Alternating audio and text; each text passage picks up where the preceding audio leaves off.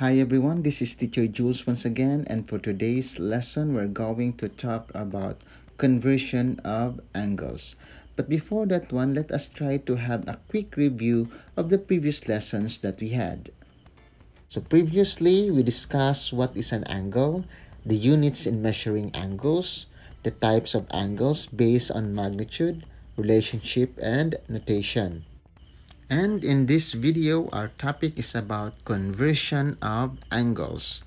Particularly in this lesson, you are expected to convert angles from degrees to, to radian, from radian to degrees, and from degree to degree, minute, and second. In here, you will be needing formulas in order to convert the measures of angles. Now, if the given is expressed in degrees and you are being asked to convert it to radian, the formula is the product of the given angle in degrees and pi over 180 degrees. For example, we are going to convert 15 degrees to radian. Now, in the example, the given is 15 degrees. To convert it into radian, multiply 15 by pi over 180 degrees. Now, we need to express 15 and 180 in the simplest form. In doing this, divide both of them with their greatest common factor or the GCF. In finding for the GCF, I have attached another video here for your reference. Since the GCF of 15 and 180 is 15, we need to divide them. 15 divided by 15 is 1. 180 divided by 15 is 12. And we have now pi over 12. Therefore, 15 degrees is equal to pi over 12. Let us have another example. For example, the given is 60 degrees. To convert it into radian, multiply 60 by pi over 180 degrees we need to express 60 and 180 in the simplest form. And in doing this, divide both of them with their greatest common factor or the GCF. And since the GCF of 60 and 180 is 60, we are now ready to divide. 60 divided by 60 is 1. 180 divided by 60 is 3. And we have now pi over 3. Therefore, 60 degrees is equal to pi over 3. And now, if the given angle is expressed in radian and you are being asked to convert it to degree measure, the formula is the product of the given angle in radian and 180 over pi. For example, we are going to convert 8 pi over 3 to degrees.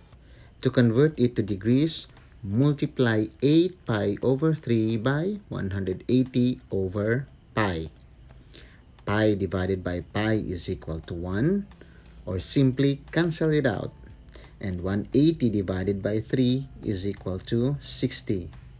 So what was left now is 8 times 60 and 8 times 60 is equal to 480 degrees.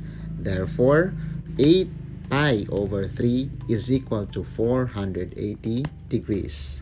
Let us have another example. Given here is 5 pi over 12. To convert it to degrees, multiply 5 pi over 12 by 180 degrees over pi pi divided by pi is 1 or simply cancel them out. And 180 divided by 12 is equal to 15. So what was left is 5 times 15 degrees. And 5 times 15 degrees is equal to 75 degrees. Therefore, 5 pi over 12 is equal to 75 degrees. And now we are going to convert angles from degrees to degree, minute, second, or the DMS. Angles in degrees with decimal part can be converted to its degree, minute, second, or the DMS equivalent. The degree part of the DMS equivalent will just be the integral part of the original angle in degrees. The minute part will be calculated by the formula 60 times the decimal part of the angle in degrees. And the second part will be calculated by the formula 60 times the decimal part of the minute. For example, we are going to convert 54.574 degrees to its degree minute second equivalent. Here, we will compute for the value of the minute and second since the value for degree is automatically the integral part of 54.574, that is 54. Next, to compute for the minute, the formula is 60 times the decimal part of the given angle. Since the decimal part of 54.574 is 0.574, we have 60 times 0.574 is equal to 34.44. Next is to compute for the second. To compute for the second, multiply 60 by the decimal part of the minute, which is 0.44. So we have here now 60 times 0.44 is equal to 26.4. Now whatever value you get in the minute and second, just consider the integral part by rounding it to the nearest unit digit.